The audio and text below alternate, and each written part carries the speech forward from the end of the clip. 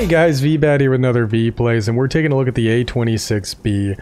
And the A-26B Invader is an interesting Tier 6 premium aircraft that is also being sold in that cheaper bundle for the XF-85. So I figure we might as well cover the aircraft since it it does exist and, you know, probably an interesting bird to pick up at some point if you guys ever decide to grab one.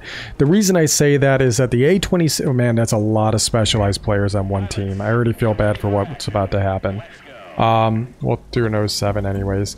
So this thing, of course, being a premium means that I can throw whatever crew I want in here. So this has my B-32 crew in here, which means that they've got nine skill points across the board. And they do fairly well for themselves, especially in this airframe. especially in this airframe. Uh, now, we also get 650 cals in the nose, and the reason we get 650 cals in the nose is because this aircraft is an A-26B. The A is supposed to be for attack aircraft. This aircraft was actually designed as an attack platform, but the United States Air Force had abandoned the idea of attack aircraft. But luckily for the company that designed the airframe, it was also marketed as a fast light bomber. And as such, we get it as a bomber in game, but we still get this 50 cals in the nose. Uh, this was used well after World War II and was used all the way through the 1960s as a counterinsurgency platform. Uh, mostly because it had so many different configurations. There was a version with wingtip fuel pods, and it also had a bunch of rocket pylons underneath the wings, so this thing could carry air-to-ground rockets. It could also be equipped with gun pods actually in the wings, so you could get an extra 850 cals just on the wings. There's a bunch of different gun configurations for this thing, and I do highly recommend taking a look at um, just doing a Google search. Do a Google search for this airframe and guns, and you will find that there's some wacky stuff going on with how they were able to configure this. Yeah, that's right. Get out of here. The tail gunner is a really interesting deal too, because check this out. Yeah, we can fire in front of the wing a little bit. It's a crazy wide firing arc on this platform, so it makes it a bit of a formidable aircraft when it comes to its ability to really take the hurt to the enemy. Alright, let's, uh... We're gonna do a sweeping turn here. This thing drops in clusters of four 100-pound bombs, so it's not gonna be the most accurate platform, but we, again, have this thing specialized, so it's kitted out pretty nastily. Oh, I accidentally hit spacebar there. Ugh. We get a lot of damage out of this aircraft. We also have gone with some pretty powerful gunners that can range out really far. Well, look at this. We're almost out to what would be a thousand meters, and we're still firing on this aircraft. And oh, by the way, I'm now circling him like a gunship so I can get a kill. One down. And now I'm out of the zone. He's going to break off. And we can go finish him off in a second because we've already reloaded the aircraft. And I can go back after the target I just missed with my bombs. Because I accidentally hit the button too early. There's another drop. We can throw some over here. And man, we like barely missed this site. Okay, T. Oh, you're back again?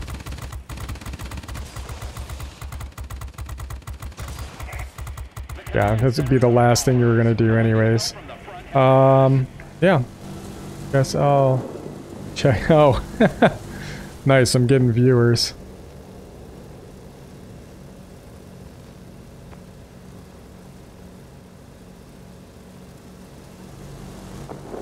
Whew. Okay, um, yeah, Focke-Wulf, not a good thing to find. This thing's got a ton of forward firepower. Um, hopefully we can get a crit on his pilot. Uh, crit on his engine, that'll keep him from chasing us. Pull the gunner back up. You're fine, you're fine, everything's okay. Situation normal. Small reactor leak. Okay, cool. Getting those crits makes aircraft break off. Uh, that's something I actually picked up uh, trolling the forums, guys. I didn't know that was... I never had correlated that if you get a crit, bots break off from your aircraft, but uh, apparently that is a thing, so...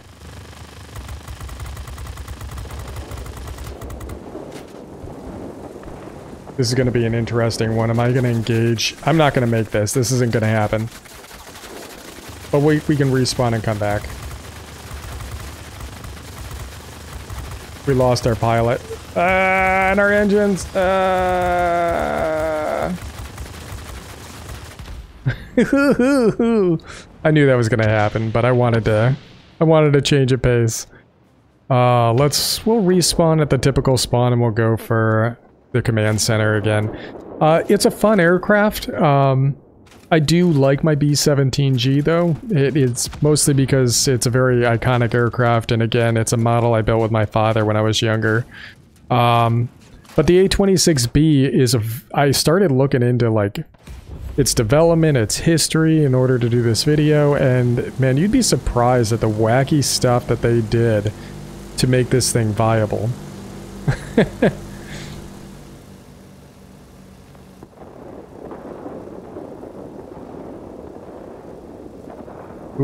there's a D in good, isn't there? Oh. Okay.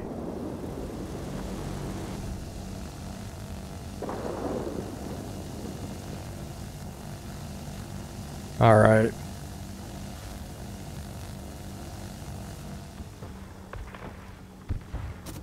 Bombs out.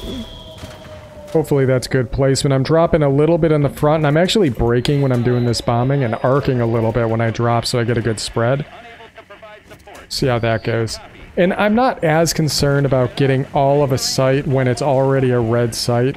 Um, what I'm more interested in is getting a good spread of damage, which it looks like... Looks like we actually had a pretty decent run on that one.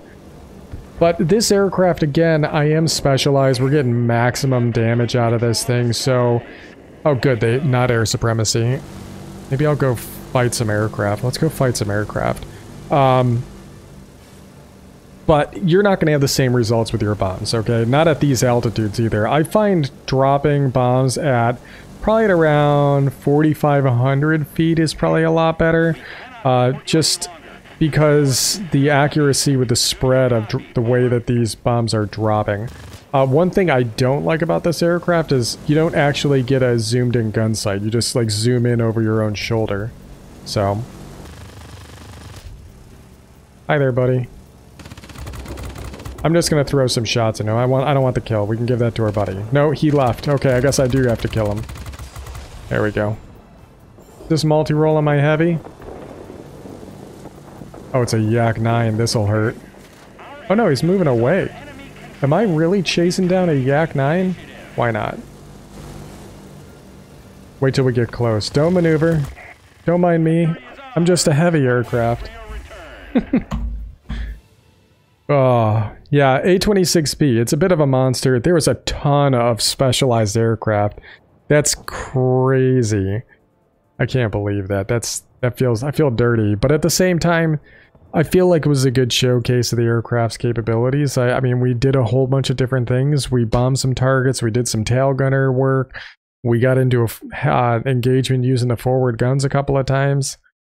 It'll catch people off guard. People think, oh, bomber, but when you all of a sudden kick your nose around and decide that you're going to shoot the heavy that was ignoring you because he was going after a B-17, he goes, uh, I'm going to go after the B-17, I'll deal with the A-26, and oh my goodness, he's behind me and he's shooting me.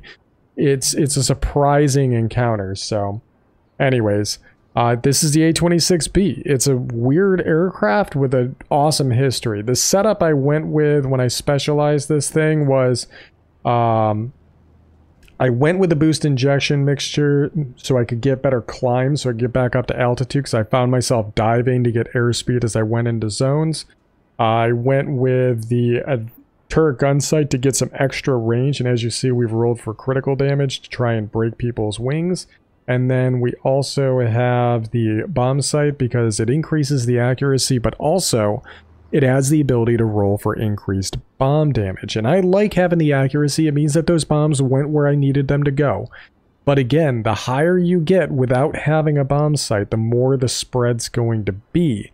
So you see I'm getting a 27% buff to how tight that cluster of four bombs is going to drop. So your mileage will vary until you're able to specialize this, and it takes a lot of time to specialize a bomb. I went with the gun sight because I like to be cheeky with this thing. I have found that this configuration for consumables works great for me.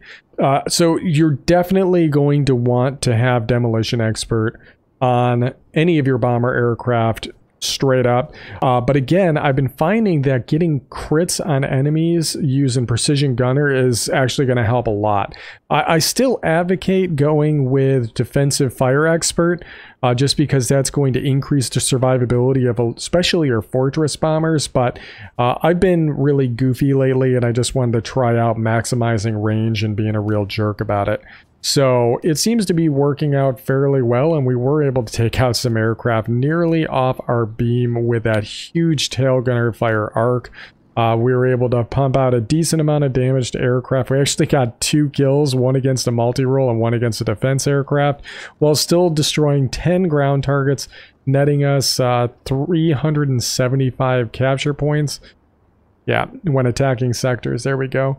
Uh, and yeah, 41,000 ground damage. That's not bad for tier 6 at all. I'm, I'm proud of that result. And since it's a premium, we are going to be bringing in some extra credit as a result of that as well.